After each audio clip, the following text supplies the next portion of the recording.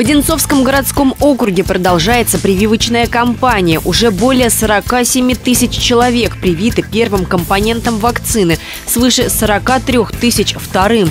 Записаться на вакцинацию в поликлинике можно через портал госуслуг по телефону 122 в медицинском учреждении или в МФЦ. При этом в мобильных комплексах МФЦ, круглосуточных пунктах и торговых центрах предварительная запись не нужна. Необходимо иметь при себе паспорт и полис ОМС.